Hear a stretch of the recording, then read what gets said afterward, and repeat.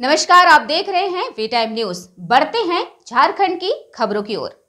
रायडी प्रखंड के सुदूरवर्ती पर्वतों और वनों से आच्छादित कोंडरा पंचायत अंतर्गत राजा वन गाँव में संकट मोचन करने वाले और बल बुद्धि देने वाले वीर हनुमान जी की जन्म उत्सव मनाई गई। यह गाँव गुमला ज़िले के अंतिम छोर पर पड़ोसी सिमडेगा जिला के राम रेखा धाम से सटा हुआ है। इस पावन बेला पर महिलाओं द्वारा कलश जल यात्रा निकाली गई। श्री राम जय राम, जय जय राम के जय घोष के साथ एक किलोमीटर दूर झर्रा। दाढ़ी से कलश में जल उठाकर मंदिर तक लाया गया। तत्पश्चात 12 घंटे का अखंड हरि कीर्तन किया गया। पूर्णाहुति के पश्चात हवन, फिर भंडारे का आयोजन में हज़ारों लोगों ने महाप्रसाद ग्रहण किया। यहाँ 2016 से लगातार हनुमान मंदिर परिसर में यह धार्मिक अनुष्ठान किया जा रहा है। इस वर्ष आठवां साल है। कीर्तन में तेतर टोली, टिंगिस बीरा, नवा टोली, रमजा कुसिया झारेन मोकरा बरटोली सिमडेगा ज़िले के कुमलाता और बाणमारा गाँव के कीर्तन मंडलियों ने भाग लिया। ग्राम में हनुमान जयंती हनुमान जन्म उत्सव मनाया गया जिसमें कलश यात्रा हुई और अखंड हरि कीर्तन बारह घंटा धूमधाम से मनाया गया। खंड के कोंडरा पंचायत के राधावन गाँव में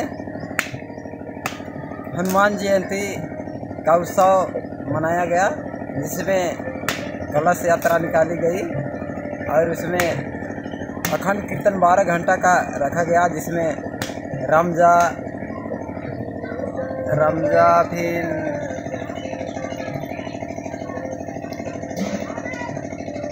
विभिन्न गाँव से आए थे।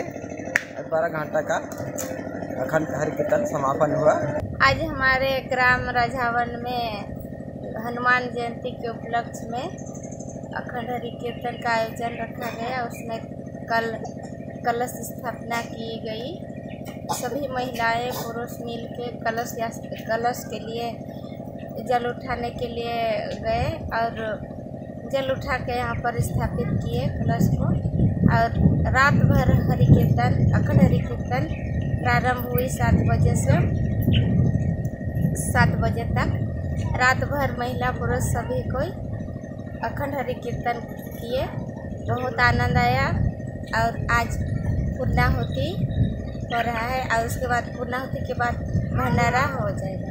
हमारे राजावन गाँव में हनुमान जयंती महोत्सव मनाए और हनुमान जयंती को हम लोग 2016 से ही प्रारंभ किए हैं और इधर हम लोग पूरा महिला एकत्र होकर के जल यात्रा निकाले फिर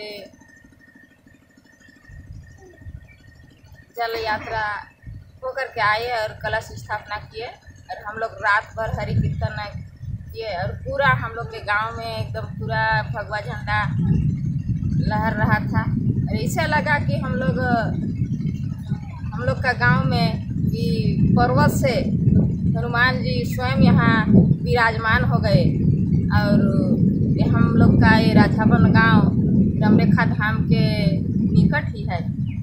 और आज हम लोग का गाँव में पूर्णाहुति और भंडारा का आयोजन है और यहाँ हज़ारों महिलाएँ, पुरुष यहाँ उपस्थित हैं।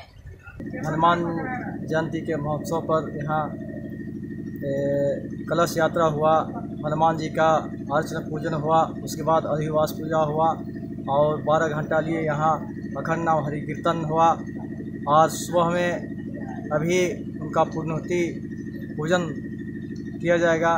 वी टाइम न्यूज़ के लिए रायडी गुमला से संजय कुमार सिंह की रिपोर्ट।